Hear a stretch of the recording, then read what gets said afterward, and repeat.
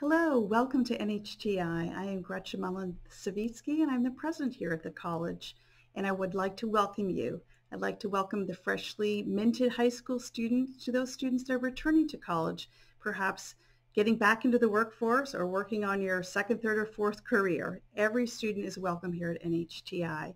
We ensure that your curriculum is relevant, that you can do it at the pace that you wish to do it at, and that you connect to the college. There are many opportunities for you to join clubs, honor societies, and even to meet our student navigator who's going to make sure that you feel welcome at NHTI.